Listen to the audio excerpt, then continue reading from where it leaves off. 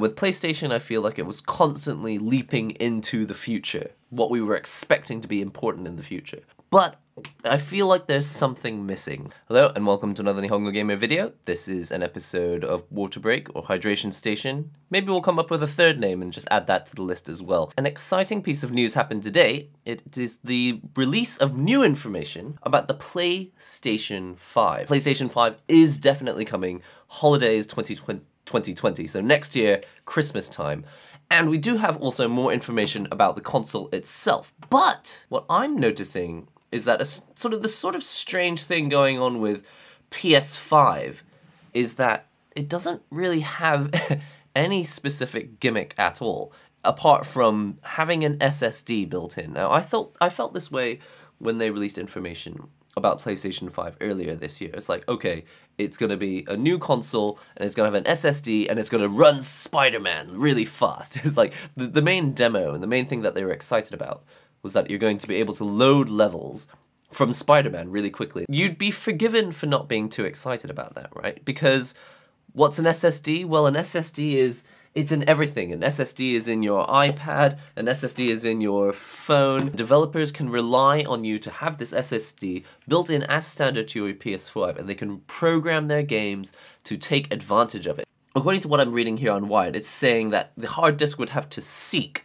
through multiple different places, and that's why they would have multiple copies of the same code, so it could do a single read of data in a straight line, and that would ease loading times, apparently. But because it's going to have this SSD, apparently it doesn't need to worry about a physical spindle needle seeking around on the hard disk. Apart from that, the only other thing that was especially exciting to me, apart from, you know, maybe ray tracing, I think ray tracing is quite exciting in general for gaming just because it's to make things look, it's to make Minecraft look really nice. I'm just kidding, it's to make lots of games look really nice. But what I'm trying to get at is that it doesn't seem like PS5 has any especially great gimmicks that are going to bring new people on board. And maybe that's because they've reached this point where so many people have PS4s already, or had a PS3 already. Basically, they're so far into the PlayStation brand that they don't really need to appeal to people who've never bought a PlayStation before. But when you look at the consoles that have come out recently, things like Nintendo Switch, like Nintendo went out of their way to make sure that people understood that there was a great little gimmick here. You could play this in the docking station plugged into your TV. Or if you wanted to go on the go, you could plug the controllers directly into the exact same piece of hardware. Take it on the train and you play the exact same game, albeit in a slightly lower resolution. But when I think back to the PS4 coming out, and I have to admit, when the PS4 came out and my channel was just beginning, I actually didn't really see much need for a PS4. I was so out of touch with gaming when this channel started that to me, the PS4 was this unnecessary thing that they were superseding the PS3 just for the sake of coming out with a new console. I was perfectly fine with the graphics that was being shown to me on my PS3. So I was a very, very casual consumer on the run up to PS4. Obviously, when I finally got a PS4, and started making more videos for the channel, I started to understand what was so great about it. But even so, when the PS4 released, it released when the PS Vita was already out. And so the idea, especially with a lot of the marketing, it was going to allow you to like play certain games and then you could like stop halfway through and then pick it back up on the go on your PS Vita. It was going to be so well synchronized between the two devices. It all seemed like it was new and exciting. I actually don't remember when they were talking about VR, but eventually VR came on board, and so PS4 was exciting because it was also this home console that would allow you to play this new exciting thing, VR. PS4 really felt like it was going to evolve the PS3 into the internet era. It was going to be much more socially connected and much more current. From what I'm seeing with PS5, it looks like it's got an SSD, and the other thing that they're really excited about, apart from maybe ray tracing as well, is this new DualShock controller, which apparently, and there's no photos on the website, it's just gonna look it's just going to look a lot like a PS4 DualShock 4 controller. And I'm in love with this controller. I think it works fantastically well. But when you go through the history of PlayStation consoles, you got the PS1, which was incredible because it was 3D graphics when most of us still owned Super Nintendos. PlayStation is 3D, cool. And then PlayStation 2 came out and dual, I mean, analog sticks was already on PS1, but PS2, it had like the emotion engine, I think they called it. Like everyone was really excited about Final Fantasy X on PS2 PS2 because it's just going to look so amazing without FMV videos. It wasn't going to be pre-rendered video. It was going to actually, they were going to have emotions on their faces on in-game characters. And so PS2 was clearly a big step forward in terms of not just graphics, but just ability for characters to have expression. And then the PS3 was coming out, and it was like we'd gone from the PS2, which, as far as I remember, didn't have a modem built in. You could like you could like buy a modem, and you could like whoops, you could like buy a modem, and I think you could slot it into the PS2. So PS2 did perfectly well without internet connectivity. But then PS3 came out, and then came the world of updating your console all the time. And I remember I still was quite a casual gamer at the time. And I remember every single time I plugged in my PS3, it would it would say you need to update your console. I didn't actually realize at the time you could just press cancel and play the game without updating. I thought I had to update every single time. I remember there's this one tweet which was like my favorite tweet of all time. Is some guy, I think is a game dev, and his daughter was like talking to him while he was on his PlayStation 3. I think she said, "Daddy, what you, what game are you playing now?" And he goes, "I'm playing Update the PS3" as a joke. He just said it as a joke. And his daughter replied, you play that game a lot. That's like, that'll always go down in history as one of my favorite tweets of all time. But what I'm trying to say is that PS3 took PlayStation into the internet era. Not only could we update games and play games that were constantly getting DLC and getting updated, and that was kind of scary at first, but we got used to it eventually. But also being able to play games online. You could play multiplayer games, fighting games, you could play shooting games, you could play all sorts of stuff competitively now. And then, like I was explaining just now with the PS4, with the PS Vita as well as uh, as part of the strategy, it was all very exciting. Maybe playing your console games and then quitting halfway through and then picking back up where you left off on your PS Vita. Of course, that never happened in the end, but that was like the plan. Of course, every single time, graphics is gonna get better, but that's never been like the main gimmick. It was like 3D graphics is a thing, now it's 3D graphics with expression, and now we've got a console that's on the internet, and now we have a console with VR capabilities as well, plus it's going to be, it's gonna work really well with the PS Vita, and it's all social now, and you can see what all your other friends are playing, and you can jump into their game, you can see what they're playing,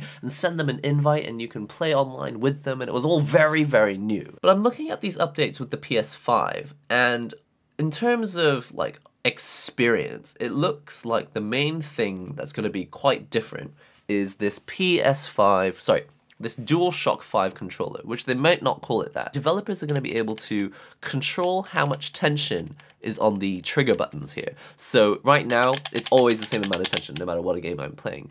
But presumably, if you're playing on a racing game, they can put more tension on the accelerator, on the gas pedal, or when you're playing shooting games, maybe it'll have lots of tension so that it maybe clicks more like the, the trigger of a gun, something like that. It's just that coming right after the Nintendo Switch, where it's like, okay, we've got the you know 3D Rumble or whatever they call it. I can't remember what they call it. I think HD Rumble, but I don't think it's it, you know in terms of marketing, it's quite exciting to talk about HD Rumble on the Switch. But in the end, it really makes no difference to, I think, probably the majority of people who play Switch games. And also, you're going to be able to feel textures. When you play a racing game, you'll know whether you're driving through mud or whether you're driving on ice or if you're driving on normal tarmac. I still can't imagine what that actually means apart from it's just got a very advanced form of haptic feedback. Without video footage, I really have no idea what they're actually planning for this new controller, but I don't think it's going to be like you change the mode and it feels like the skin of a snake, the scales of a snake,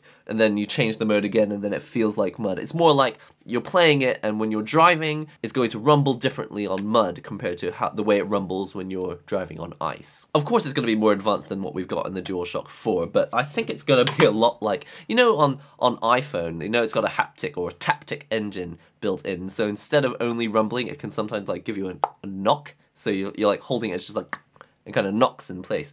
If you've got an iPhone or an Apple Watch, you know what I'm talking about. So it's not like this magical thing where it's like the texture of the controller changes and it feels like a snake now. That doesn't mean I'm not excited though. I am really excited about PlayStation 5 just because, actually, more importantly, I'm excited about PS5 because I think no matter what, no matter how much we want esports to continue going towards PC, I think PlayStation is always going to be, well for now, a very important part of esports. It's clearly not going anywhere soon. What interests me more about PS5 so far is this talk about the user interface and how you'll be able to interact more with your games before you've actually booted them up. And they're saying also, again, thanks to this SSD and the way that it's being built. Maybe you can download parts of the game in a more modular fashion. So you can have the lobby system where you're talking and chatting. Maybe maybe you only go into Fortnite to chat with people. You don't even play the game part. You don't play the main campaign part. So it looks like maybe the lobby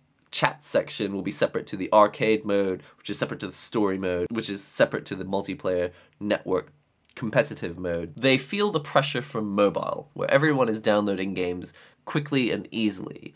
And they want to be able to do the same thing with PlayStation. They want you to be able to just press a button and instantly start interacting with the gaming communities without having to wait for 40 gigabytes or 60 gigabytes to download. I remember when I downloaded Monster Hunter World or Marvel's Spider-Man, they, they were huge, huge games, and I was like, wow, it just so happens I have to ha I, that I have a really fast internet connection, but for some people, this could take maybe eight or nine hours to download. Now the reason that the UI interests me more than the actual hardware aspect of itself is because of this little thing called Google Stadia. If you're not familiar with it already, Google is coming out with this gaming console system, which is not really a console. It's any device, it's not any device. If you have a phone that runs Android or if you've got a PC that can run in a Chrome browser, basically they want you to be able to play games on their network platform which stream from Google to your device. So you can play on your TV, which has a Chromecast hooked up, or you can play it on your Android phone, or you can play it on your tablet, or you can play it on a lot of things without downloading the game at all. It's just going to stream the visuals of the game running on a PC somewhere in Google's headquarters. Not headquarters, you know what I mean. On a computer run by Google somewhere. And then they're going to beam the visuals to your device and you don't have to download anything. And it's going to be instant. And that's what confuses me about PS5 not really talking too much about that aspect because if I feel like game streaming, whether I like it or not, are going to, is going to be a really important part of console strategy going forward or PC game strategy. It's going to be less of a race on who can get the best graphics and more like actual war where I think I think there was a part there was a point in time in history it was less about how much artillery and firepower you could give to your troops it was like more about how fast you could send communication if you could get a message from A to B faster than anyone else